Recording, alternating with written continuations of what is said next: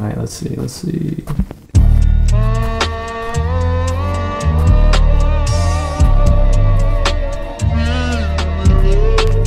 The other day, I was caught up overthinking about my life. Yeah, I know. What's new? I feel like I'm losing the race. But wait, what race am I even running in? Is it views, money, clout, quality of work? Wait, when did this become a competition? It feels like I'm preventing myself from being happy. It's like there's always some elusive obstacle or barrier that I have to overcome. I can't be happy until I've accomplished this goal. Until this problem in my life is solved, until my video meets this unrealistic standard, I can't be happy. And it's always just ever so slightly out of reach. But it's a paradox. The brain is a problem solving machine. Even if you had everything you'd ever asked for or wanted, you would probably end up blowing your brains out.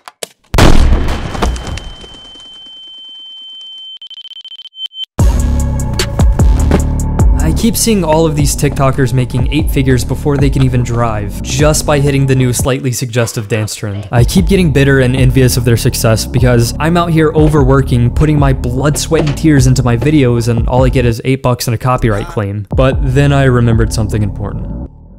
I remembered why 11 year old me fell in love with making videos. Not because of views, accolades, money, or because they were barely even watchable.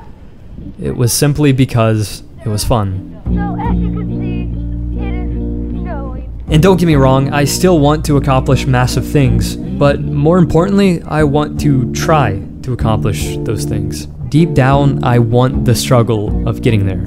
The destination isn't the point. There will always be a what's next. And if you base your happiness solely on making a lot of money or achieving some ambiguous metric of success, it'll never be enough.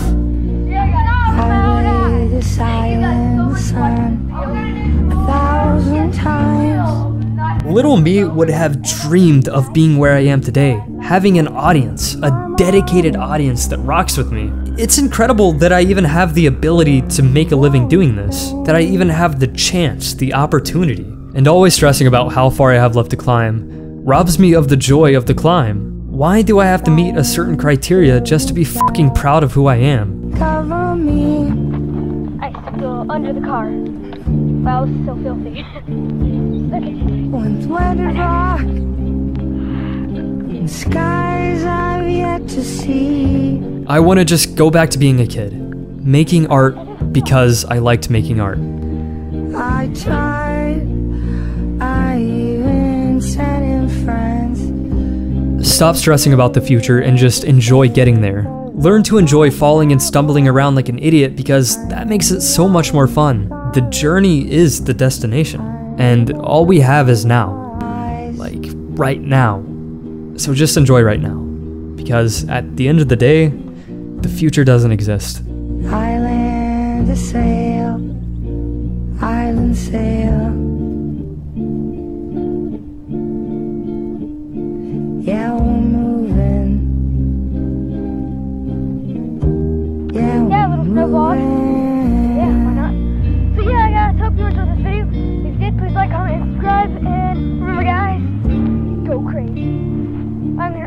Stop the recording with my nose.